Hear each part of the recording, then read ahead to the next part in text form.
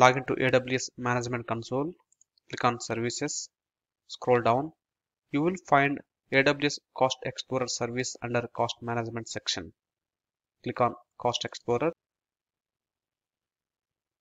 From the dashboard, we can see that current month cost which is billed till today in this current month and forecasted month end cost as well which will be the estimated cost for the entire current month.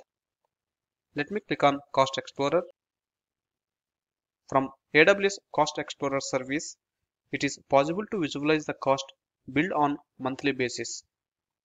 We can choose last 6 months of billing and even it is possible to choose the custom time range as well so that it will produce the report stating that what was the bill for the specific selected month.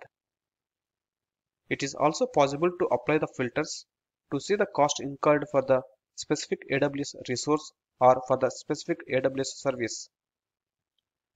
Let me show you how to apply the filter to see the cost for the specific AWS service. Click on service.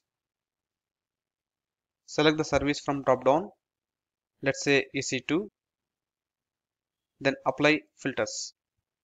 Now the graph is showing the cost for the EC2 instances only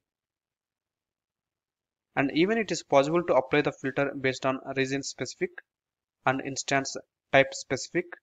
And even it is possible to apply the tag based filter as well. Based on the filter which we have chosen the corresponding cost incurred for that specific resource will be shown in the graph. AWS Cost Explorer service will help you to understand the billing for the specific AWS resource and for the specific AWS service. Hence, it is easy to understand which AWS resource is caused for how much bill for the specified duration. AWS Cost Explorer service is also offering you to purchase the savings plan. When we click on purchase savings plan, there are two type of savings plans are currently supported by the AWS compute savings plan and EC2 instance savings plan. When we are purchasing the savings plan, we need to give the commitment that the resources will be used for one year or three years of term. Hence the reason AWS will provide the resources with low prices. Then specify the term, then specify how much hourly commitment can be given and the payment option as well. Once the savings plan is configured, we can click on add to cart and purchase the savings plan so that AWS will consider the savings plan and will deploy the resources for low prices.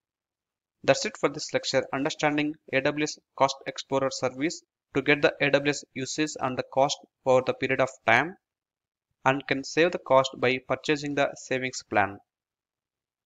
I will see you in the next lecture. Thank you.